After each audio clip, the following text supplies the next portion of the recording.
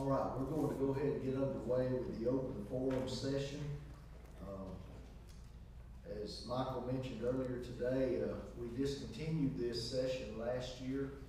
And due to the popularity of it, it appears that many have requested that it be reinstated. And so we, we, I believe I can speak for all of the brethren on this panel. We want you to know that we, in and of ourselves, are no authority whatsoever.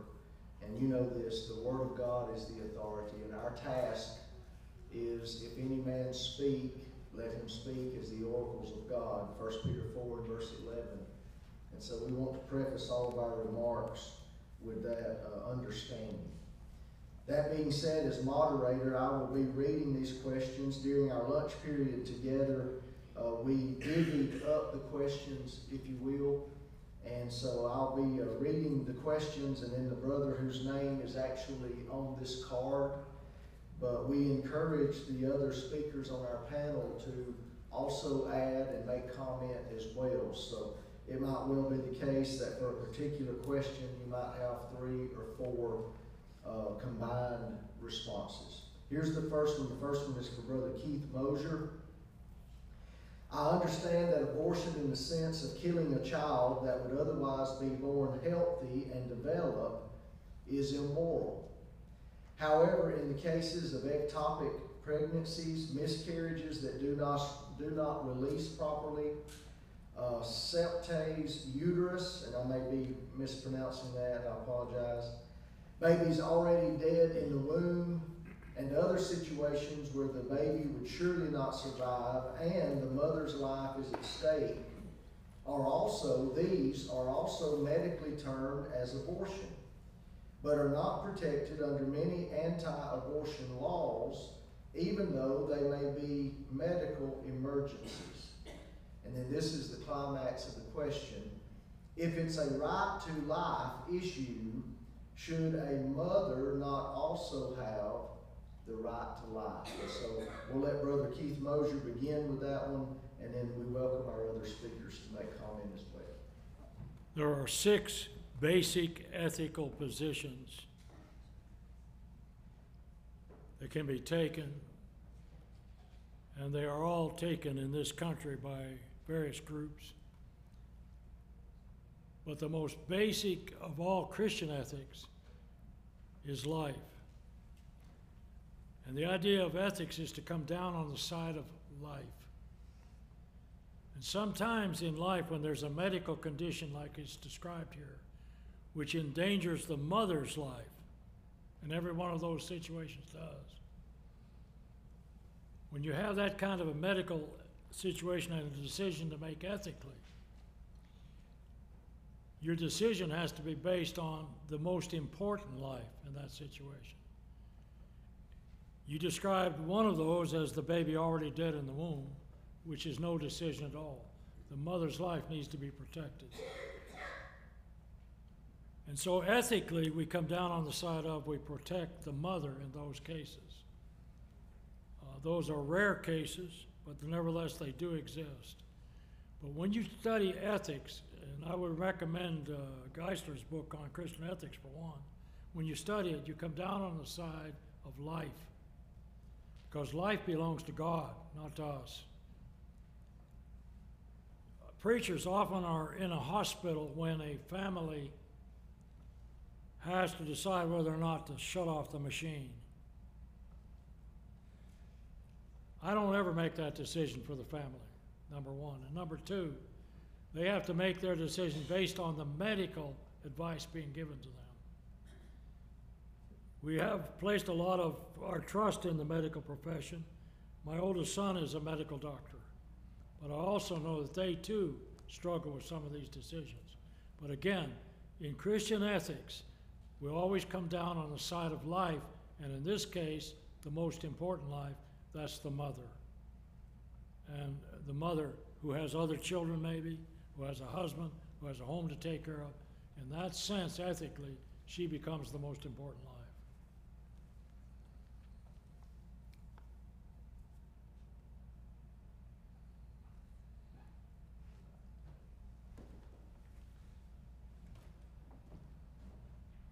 This Just wanted to add that, uh, there's a huge difference between someone trying to have a baby and the doctor having to make a decision at the moment of choosing to save the mother's life. The doctor goes in trying to save as much life as possible. There's, a- that's a huge difference between that and someone deliberately driving to an abortion clinic for the express purpose of seeking an abortion, not out of any kind of an emergency. And so it's really comparing apples and oranges for sure. There's no comparison between the difficult decisions that a doctor has to make when he's trying to save as much life as possible and the person who goes to an appointment fully knowing the purpose of that appointment is to end life. That was what they started out wanting. The doctor didn't start out wanting to end a life. He wanted to save as much life as possible. And sometimes it's not medically possible to save both. And so those difficult decisions have to be made, but they shouldn't be compared to what's normally done in abortion clinics.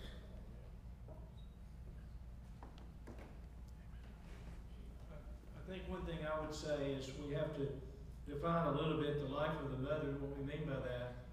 Because some would say, she wants to go to college, she wants to have a career, she wants to do this or that, and so in their mind, saving her life is not really saving her physical life as much as allowing her to do with her life whatever she wants to do.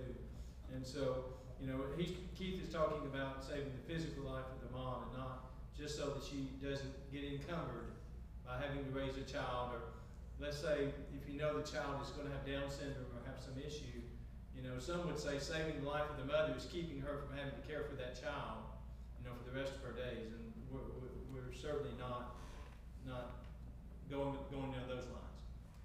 There's a huge difference between a deformed, that's the wrong term, a handicapped child and a child that's already dead in the womb, folks. And there's no, the, the medical decision there is a whole lot easier. You ask any handicapped child, and we have a nephew who is suffering, or not, sorry, he has Down syndrome. He's not handicapped. We think he is, but he doesn't know it. He is just the happiest child and shows more love, I think, than many members in the family. I think there's a big difference, and I'm glad what, what BJ said, between knowing that that mother's going to die if the baby uh, is not uh, removed and knowing, I just want to get rid of the baby. That's just a, a no-brainer to me. I think it needs to be emphasized that the uh, frequency of the cases where you have to choose one life over the other is so small to be almost non-existent. Yeah. And you must be careful not to let this very minute exception influence the way you view this whole subject. We've got to keep our values, and the value is that, life begins at conception, and that we must protect these children, and as we would uh, born, born babies. So I would just remind you that this is very, very minute, as to be almost non-existent today, that, that you have a case where one has to die and you have to choose which one. It's one in one hundred thousand births, Glenn. One more comment. You know, one of the things people say to support abortion is that uh, we need to have abortion because of the danger of deformity and things of that nature. But are we living in a country that for the last 200 years we have said we're a Christian nation based on Christian principles? We're going to take these people and care for those who are in need. But this thinking suggests the idea that if someone's not as perfect as we think they ought to be, we'll just destroy them. And at what point are we going to draw that line? In fact, if we start thinking that way, uh, after my accident, they shouldn't have saved me because uh, I, I don't meet the standards anymore. And so when we even start thinking that way, we're setting the bar about uh, who is worthy to live and who is not. And it's a complete violation of what this country's been built on in biblical principles. Okay, thank you, brethren, very much. Uh, the next question here has, uh, it will begin with Brother Wade Webster. The question is asked, should one without the right to marry, and we understand that to mean the scriptural right to marry, should one without the right to marry date? Brother Wade.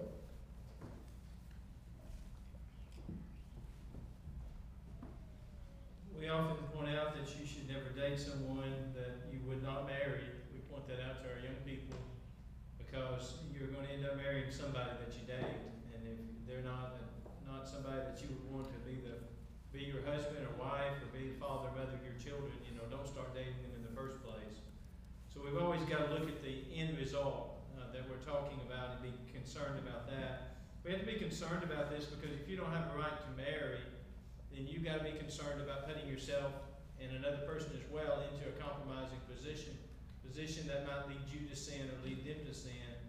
Uh, that might lead others to sin even through your influence, and so you've got to be concerned about this. Now, having said that, let me point out the fact that when God made man, God said it was not good for man to be alone. And so we do need other people. Uh, there, there's no doubt about that. God created us as social creatures. We need other people. We need fellowship with people. And a person in this condition certainly needs that. I'm not arguing against that. It's, it's more the matter of how do you fill those needs in a way that's not a temptation, not sin, not going to influence other people to do the wrong thing. And so I would suggest, you know, you know, public situations where you can be friends with someone and be in a public coffee house, that type of situation would be the kind of situation I would recommend. I would recommend that you do that in a group and not one-on-one, and the reason for that is when you spend time with someone, you begin to form feelings for that other person.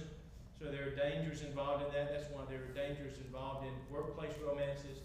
You work with this person every day, see them at their best, and so there's a temptation inherent in that. You've got to always be aware of that temptation for you and them. I know a number of people who are married today who did not start out interested in each other. They, they, they talked, they were friends, but they had no intention of ever dating or getting married, but today they're married and have a family. So, so that can occur, and that can happen, you gotta be aware of that. Let me add to this very quickly, I know that others will have comments. Um, the same applies to, to, to, um, social media. You've gotta be extremely concerned with your friendships and relationships on social media. It's so easy to cross those lines, not just in a physical, public way that people can see, but you know, it even offers you more privacy in that setting, and so you can begin to converse back and forth and develop feelings and develop a relationship that nobody else knows about, but that can get you in a position where it's compromising for you and for them and lead you down a road that you don't want to go. Two are better than one, the Bible says. You're going to need companionship. It's a matter of how do you get that in a way that, that is not going to tempt you or tempt somebody else. And so there are ways to do it, but you have to be extremely careful and constantly reevaluate the situation that you're in.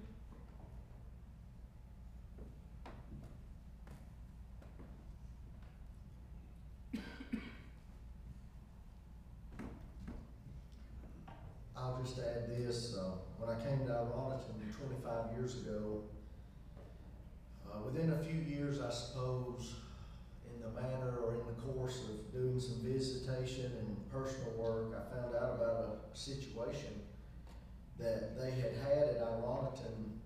Uh, I was probably a child when this happened. It was probably the early eighties, and that would have made me a young child at that time, but there was as I understand, there was a brother who had no right to remarry, and uh, he he started dating a sister in the congregation.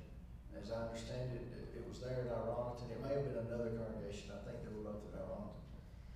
And uh, at the time, Ironton did not have elders, but there was a, a group of concerned brethren um, that went to this man, and I think maybe went to the sister also and uh, cautioned them and counseled them.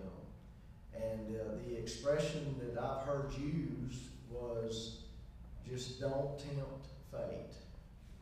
Don't tempt fate. And of course, that, that could probably be stated better than that, but I think we all understand the point of that is uh, when we put ourselves into dangerous situations, uh, often we're acting very unwisely.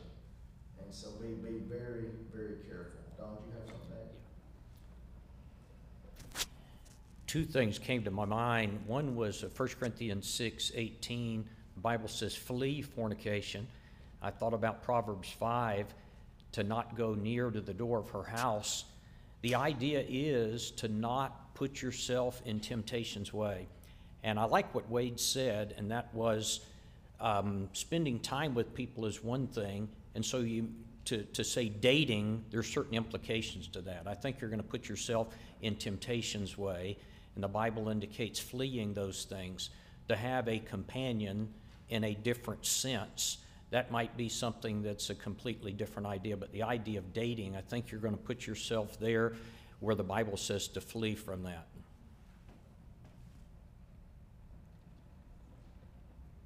Okay, Don, while you're there, your, your question is the next one to lead off is it becoming of Christians to get tattoos?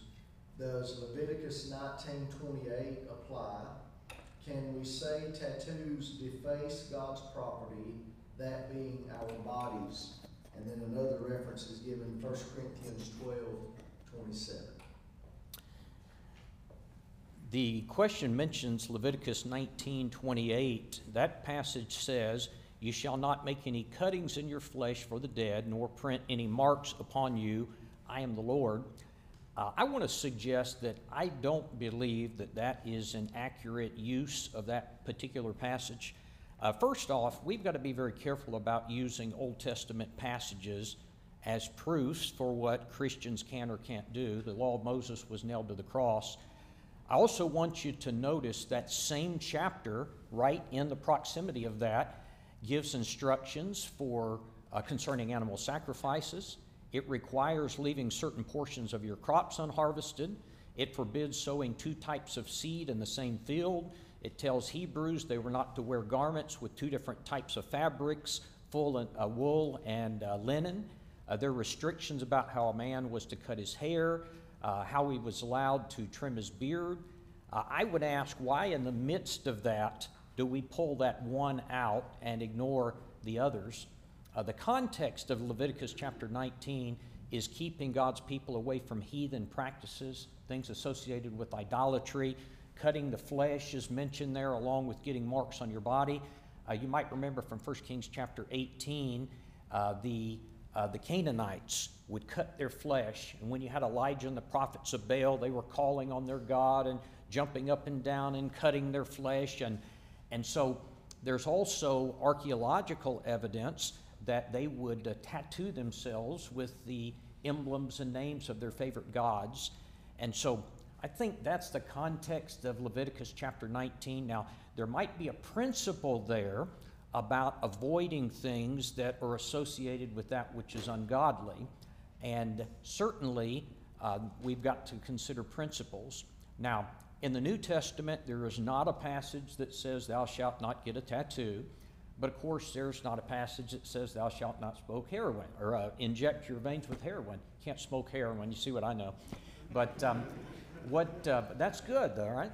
And, um, but there are principles about heroin and drugs. And so we look for principles in the New Testament. I think when you think about this sort of thing, a Christian needs to ask himself number one, what would this do to my influence? Number two, will this be a stumbling block for others?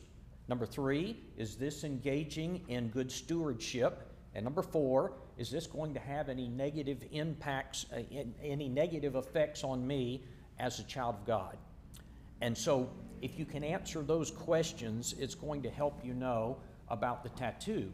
Now, I immediately think about 1 Corinthians chapter 11. I think there's a principle there about the wearing of veils. And he talks about women in the city of Corinth. And there was a cultural implication there that if a woman did not wear her veil, it sent a certain message. It was rebellious. Christian women should not go without her veil.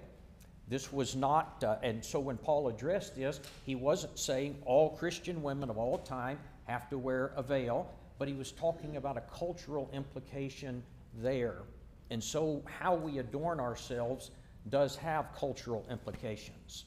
Now, bring that down to the tattoo. That's something that changes with culture. When I was growing up, a kid in the 70s, the people that had tattoos, they were um, biker gangs. They were rough people. And so tattoos were associated with something very, very negative. Only the worst people had tattoos. And so that's what's been ingrained in my head since I was little. But that's changed with culture. Now you see many people that have tattoos. And so I think you've got to ask some questions like what is the tattoo? Where is the tattoo? How many tattoos do they have? If they've got a small tattoo of uh, Big Bird on their ankle, that's going to be different than a tattoo of a black widow across their face. I mean, there are going to be implications. If they're tattooed from the neck down to the ankle, that's going to have different implications. And so you go back to these questions. How does it make people feel? What is my influence? Does it affect me as a child of God? And if you can answer these questions, it will help you uh, make a decision. But I think it really does come down to the cultural implications because there's not something in the Bible that says if you get a small tattoo, maybe sometimes I've known people that would do this. Maybe um, a loved one or a, a soldier might have a friend who dies in, in the war, and they'll have their, um, their number tattooed on their arm to remember them. I don't think you can show anything in the Bible that would indicate that such a thing as that is wrong.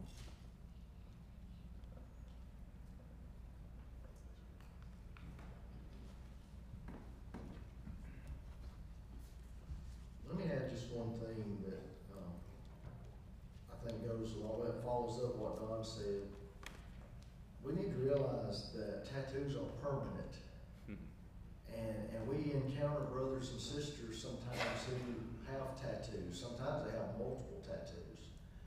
And we need to be very careful not to judge and draw conclusions about what these tattoos say about this brother when I know for certain in many instances, if you were to talk to him or her, they would tell you, I wished I hadn't done this now.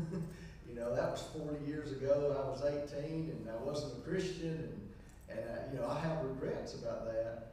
And, and we need to understand that. That needs to temper our reaction, uh, is the fact that these things aren't permanent. And uh, sometimes people get those things and they do regret them. And if they could go back and do things over again, they would do things differently. And I, I think we need to have that kind of compassion and that kind of understanding. One more quick comment. Yeah. I remember an older brother telling me on one occasion, he said, When I obeyed the gospel, it washed away my sins, but it didn't wash off my tattoos. All right, very good. Uh, the next question is uh, beginning with Brother BJ. Should the churches of Christ accept government funds for COVID relief?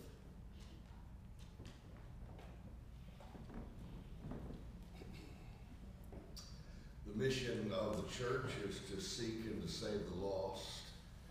And God has a plan for financing the mission of the church. It is for the church to give upon the first day of the week. And that is God's plan and God's method.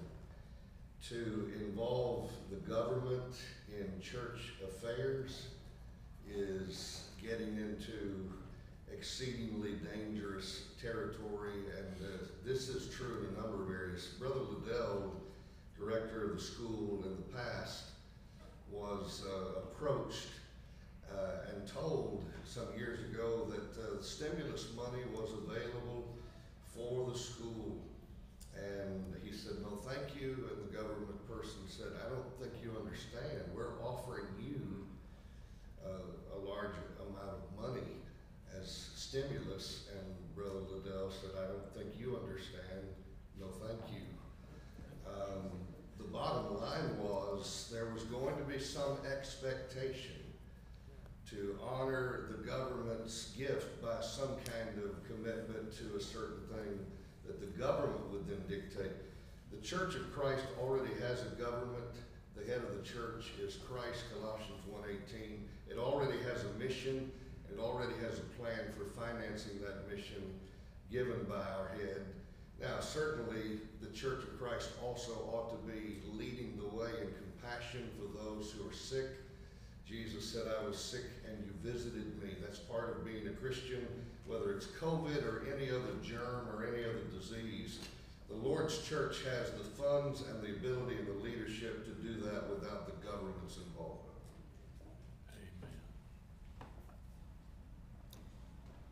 Um, as he was talking, it brought to my mind one thing that Ronald Reagan said one time.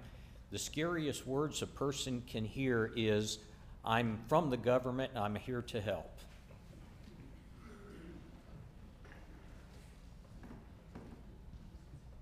And also, let's be reminded that part of the reason sometimes, and we need to be cautious about this, but part of the reason why these funds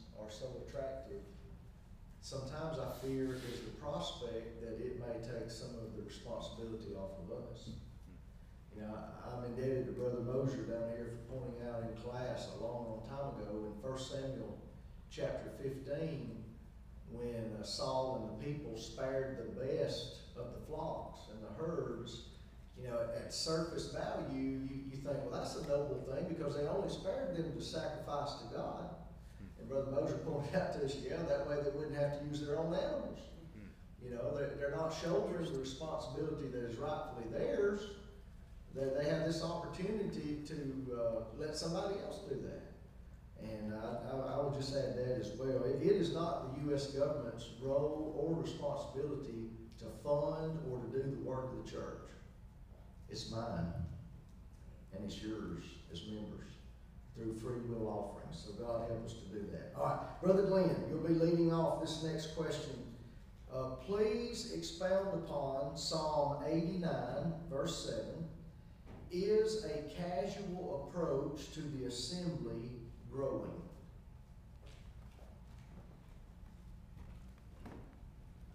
I think this is a good question merely because, I mean, for nothing else, because if you do any traveling about and you visit other congregations, there are differences. And sometimes it's a little shocking to see the, uh, the overall spirit or what appears to be the overall spirit of worship. The psalmist says this in Psalm 89 and verse 7 God is greatly to be feared in the assembly of the saints and be held in reverence by all those around him. Um, the answer to the question is it depends on which congregation you're talking about. I don't think that it's, I don't think it's everywhere. I it's some places that the casual approach to worship or to the assembly is growing. And I would also add this, we need to be careful. And Don's talked about this a few minutes ago in reference to tattoos and so forth. Um, sometimes the way that we might judge this is by the clothing that people wear to worship. The principle is right that we ought to wear apparel in worship does not contradict our profession.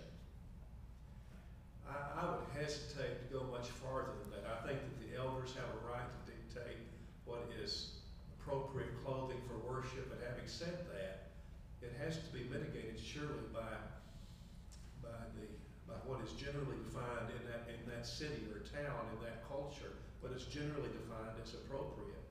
And that's changing. It's changing. I live in Huntsville, Alabama, and Huntsville, Alabama is rocket city, and we have missile defense there, and we have, I, I preach for a church with many engineers. I'm not an engineer, I make fun of them, but I'm, I'm not one of them.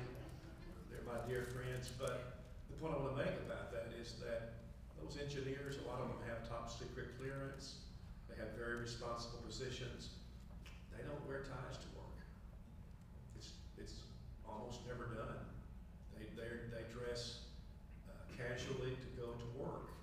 And, and I only illustrate, use that to illustrate the fact that, that what used to be the societal standard for what would communicate that this is important to me, or it, that's changing.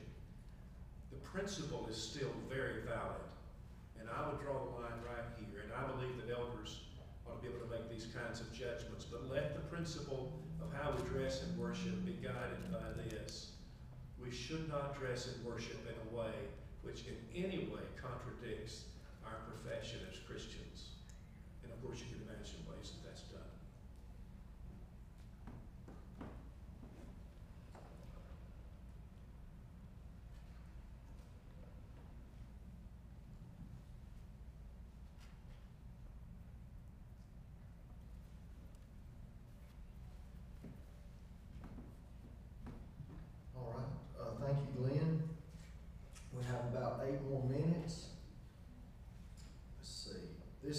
Brother B.J. Clarke will lead this one off.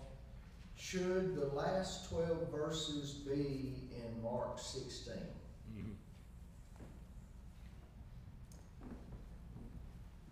Try to deal with this as briefly as I can. Uh, If you're interested in a deeper or longer study, I was assigned this some years ago and wrote a, about a fifty-page treatment of it.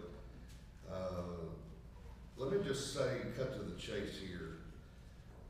The last twelve verses of Mark sixteen are oftentimes said to be uh, not a part of the original document of Mark because two of the oldest and ancient and most reliable manuscripts, the Codex Vaticanus and the Codex Sinaiticus, don't have it in there, and therefore, uh, you know, those ancient documents don't have it, therefore it wasn't part of the original. First of all, those ancient documents or manuscripts don't have John 21, 25 either, and you don't ever see any of these uh, books making any kind of, uh, translations making any kind of notation about that. Plus, the Codex of Vaticanus uh, actually ends at Hebrews 9 and verse 14. And that means the rest of the book of Hebrews is left out. And also James, 1st, 2nd Peter, 1st, 2nd, 3rd John, Jude, and Revelation. Do you see in the NIV or any of these other translations a line that says Hebrews 9:15 to Revelation 22:21 are not in one of the most reliable, ancient, and reliable manuscripts? You don't read that. Furthermore, uh, there's those those two ma- manuscripts contain apocryphal books that we would not put in. So those aren't the standard. But here's what I want to get to. The evidence from the early versions, these versions predate Codex Vaticanus, Codex Sinaiticus, and they're early translations of the scriptures. And guess what? The overwhelming testimony is that Mark 16, 9 to 20 is in those versions. And then when you add to that patristic quotations, meaning quotations from the church fathers, a Sir David Dalrymple wrote the following. He said, Look at these books. You remember the question about the New Testament and the fathers, the church, his early church fathers. That aroused my curiosity. I possessed all the existing works of the fathers of the second and third centuries, and I commenced a search, and up to this time, I found the entire New Testament in the writings of those early church fathers, except for 11 verses but Mark 16, 9 to 20 is included in the earliest quotations from the church fathers. Now, may I say this as I close? Maybe one reason why John 21, 25 doesn't get noticed so much and Hebrews 9, 14 and following doesn't get so much attention. Is there anything in Mark 16, 9 to 20 that a lot of people in the religious world would love to not to have to deal with? He that believes and is baptized. He that believeth and is baptized shall be saved, but he that believeth not shall be damned. You can't get clearer than that, and that's part of the problem for some folks. They've cut it out, or, or they've tried to let some authority cut it out for them. Those are uh, comments. I'd like to say more, but I want to let the other guys who know a lot about this to get in there.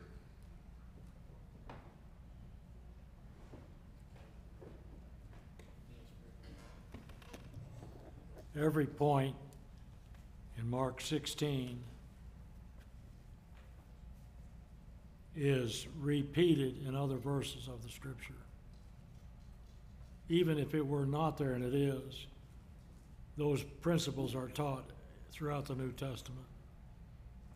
This particular attack is based on a, uh, the B and the uh, Aleph manuscripts. I want to ask a question here. You fellows, if you ever go to a seminary or a graduate school, you're going to hear the, your Bible under attack constantly from the professors using these kinds of arguments. I want to ask you a question. How many of you have used a Bible so that it's worn out? Can I see your hands? Anybody ever wear out a Bible? Maybe not. Oh, I should have. What do you do with that old Bible when it's worn out? And why is it worn out? That Sinaiticus manuscript was found in St. Catherine's Monastery by a man named Tischendorf, and it was a complete Bible, the whole Bible, on a shelf, and they were using leaves of it for their cook fires, the monks were.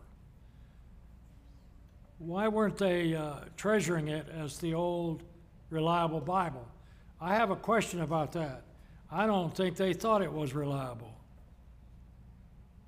Or they would have worn it out using it. We have some cursive manuscripts that are far more reliable than those two old versions are. And yet the whole academic world out there bases its approach to translation today on those two ancient versions. And Brother Clarke already told you, most of the B, the Vaticanus document's not even there. We don't have the whole of it. Sinaiticus, yes, but not. In fact, there are two parts to the Sinaiticus, both of which are kept in the British Museum.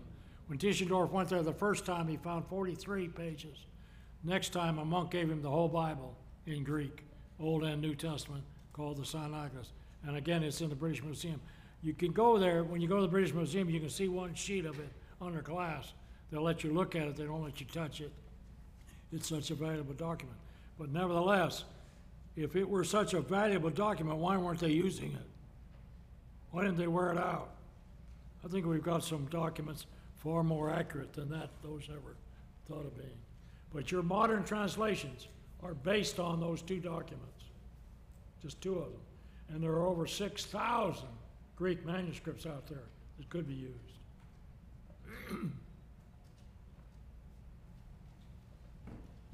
Our, time is up. I'm not going to propound a- another question, but I, I would like to just highlight something that BJ said. I hope it sank in, that you, you caught that.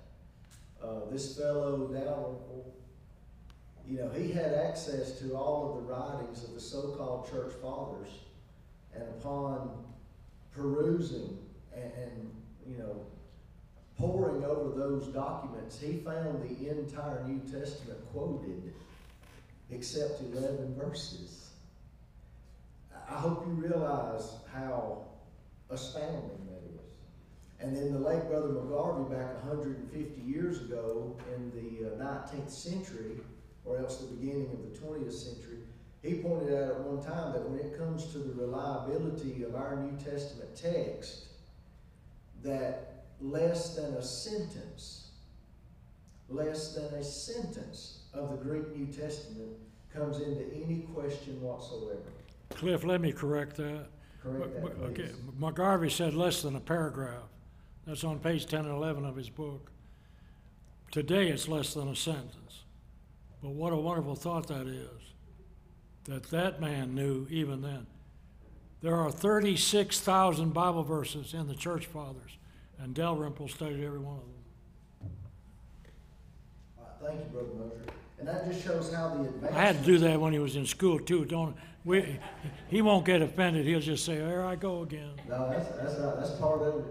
But that shows you the, uh, the advancement too. When we were in school, Brother Mosher taught us there was five thousand three hundred or five thousand five hundred manuscripts in the last twenty-five years, now there's over six thousand. When Brother McGarvey was doing textual criticism, there was a paragraph in question, now there's a sentence in question. Folks, I tell you, the Word of God is irrefutable. You and I, we have something that we can base not only our lives, but we can base our eternity on. All right, our time is up. Thanks to these men for all their uh, their fine answers. Thank you for your attention. About a three or four minute uh, break will be yours, and then Brother BJ will speak following that break.